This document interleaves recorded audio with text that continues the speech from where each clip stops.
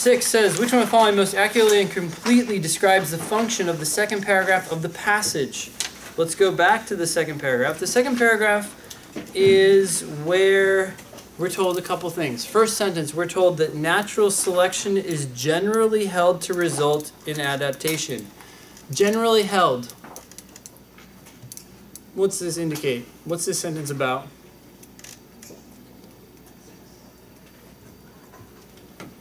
Generally held. It's what most people think. Are we cool with that? Second sentence. If if the strict constructionists are right, then the persistence of every attribute and the survival of every species are due to such adaptation. Okay, if they're right, we're going to have this consequence.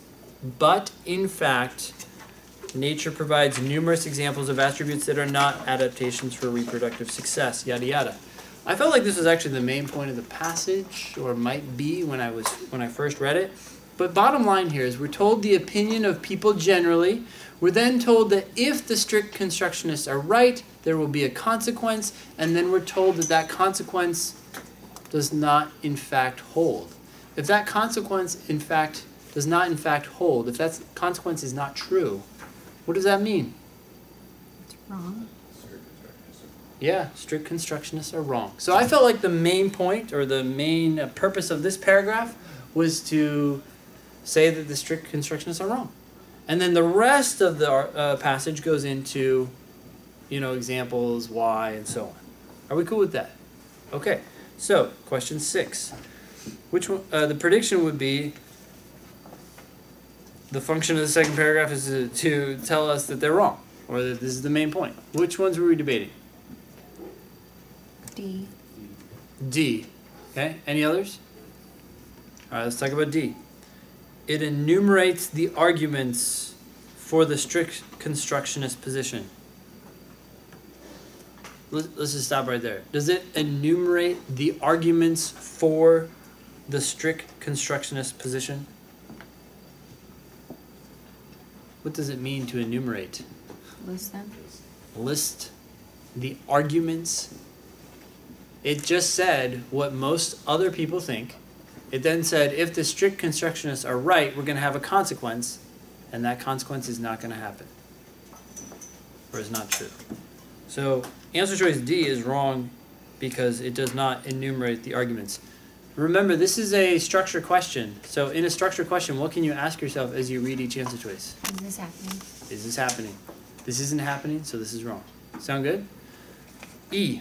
It explains the ramifications of the strict constructionist claims. If they're right, this is what's going to happen. That's a ramification, that's a consequence.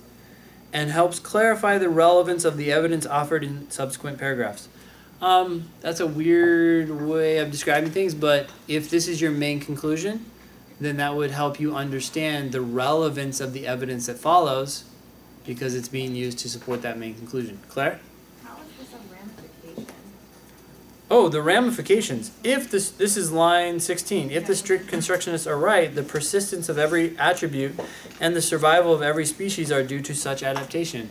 That's a ramification. That's that's a consequence of Them being right. their views. You don't feel like that's a ramification of their claim? I don't wanna take up everyone's time, I'm just not, I mean, yeah, I don't, You don't feel like that's a ramification. That's your concern, right? That word? yes. Okay. Uh, can anyone look up ramification just really quickly? I'm curious what the technical definition of ramification is. My interpretation of that is if you have ramifications, that seems like consequences or Maybe slightly Yeah, negative consequence. believe that, negative consequences. Yeah. Something that is the result of an action or decision. Something that is the result of an action or a decision. That's sound like yeah, okay, that's kind of what they're saying. but it's not like a bad. It's not a bad word, like a negative. A bad word?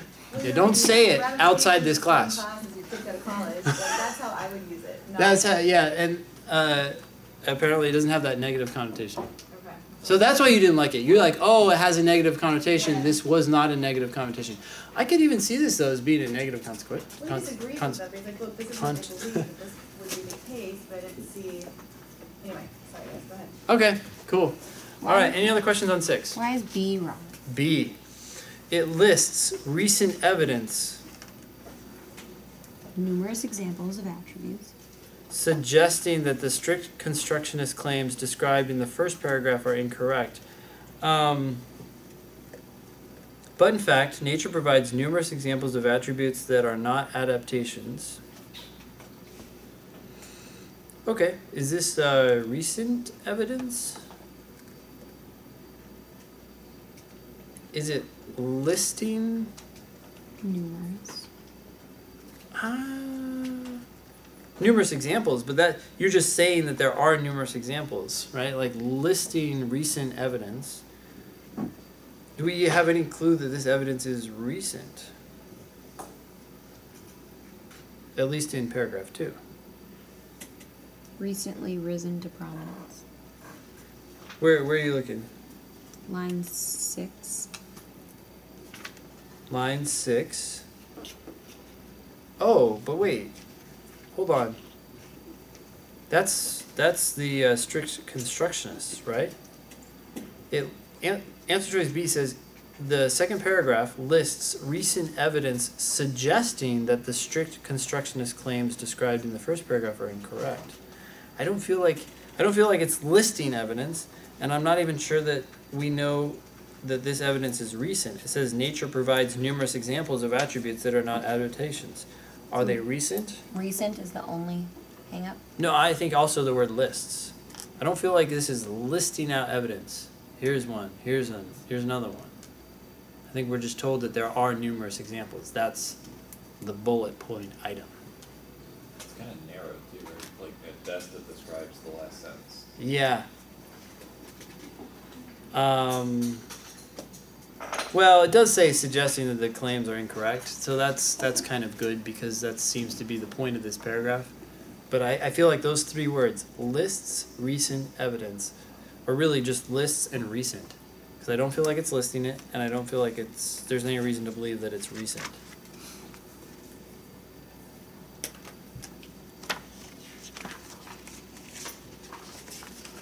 Do you feel like there's a list, Constance? You don't seem convinced. I just feel like Tell me where that that list is. that well it hints that there is a list of examples. It hints that there's a list elsewhere, as opposed to providing us that list. In an email, I could give you three bullet points, or I could say, bullet points await. In a future email. I feel like B and D capture the tone of that paragraph more. This they are wrong. Yes, yes, yes. But, Constance, do you remember the number one sin on the LSAT? Anyone know? Do not be inaccurate. Inaccuracy is worse than incompleteness or tone. Okay.